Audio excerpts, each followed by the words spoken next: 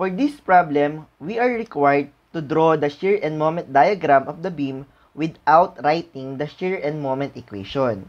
Para magawa yon, yung first step na kailangan natin gawin is to determine the reaction at point A and point C. Tawagin nating RA yung reaction sa point A and RC yung reaction sa point C.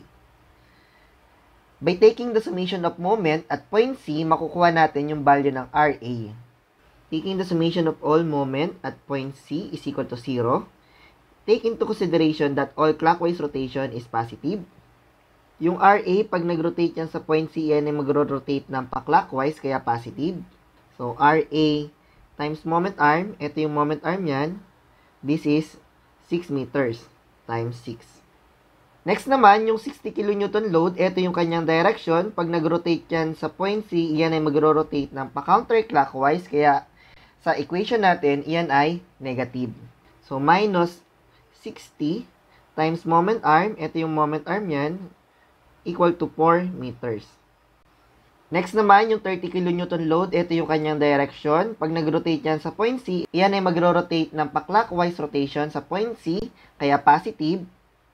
At yung moment arm niyan sa point C is 1 meter, kaya plus 30 times 1 is equal to 0. By computation, RA is equal to 35 kN. Kung sure naman tayo na tama yung ginawa natin, pwede na ang isunod natin sa process is summation forces vertical. Or pwede din na para ma-double check mo kung tama yung solution mo, pwede ka mag-moment sa point A para makuha yung value ng RC, then take summation forces vertical para ma-check kung tama yung answer mo. Take summation forces vertical is equal to 0. Lahat muna ng pataas, RA plus RC minus 60 kN minus 30 kN is equal to 0. RA is equal to 35 kN. So, RC is equal to 60 plus 30 minus 35. Therefore, RC is equal to 55 kN. After natin ma-determine yung value ng RA and RC, pwede na nating i-drawing yung shear and moment diagram. Mag-start muna tayo sa pag-drawing ng shear diagram. Mag-start tayo sa 0 point. At point A, ano yung load na meron tayo? Meron tayong RA na 35 kN pataas. So, tataas tayo ng pa 35 kN. Within segment AB, walang load. So, walang changes ng load. Pagdating natin sa point B, meron tayong concentrated load na 60 kN. So, bababa tayo ng pa 60 kN. So, 35 na to, bababa pa tayo ulit ng 25 kN. So, negative 25 kN. Within segment BC, walang changes ng load.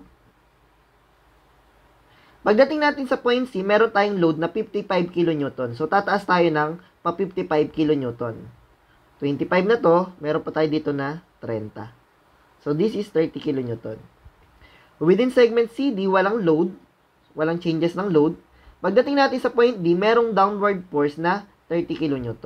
So, this is 30. So, 0. Para ma-check natin kung tama yung ating shear diagram, dapat mag end tayo sa 0. So, this is our shear diagram.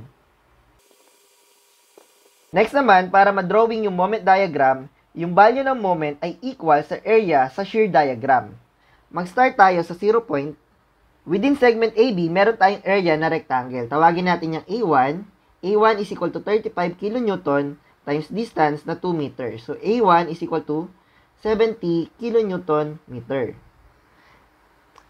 Take note, kung ang slope natin sa shear diagram, ang slope natin dito ay 0, pagdating sa moment diagram, mag-a-add lang tayo ng value na 1 degree.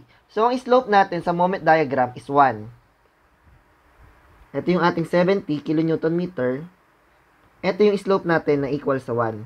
Pataas yung ating moment diagram kasi positive yung value ng nasa shear diagram sa segment AB. Next naman, For segment BC, tawagin natin yung area niya na area 2. Meron tayong length na 25 kN times distance ng segment BC is 4 meter.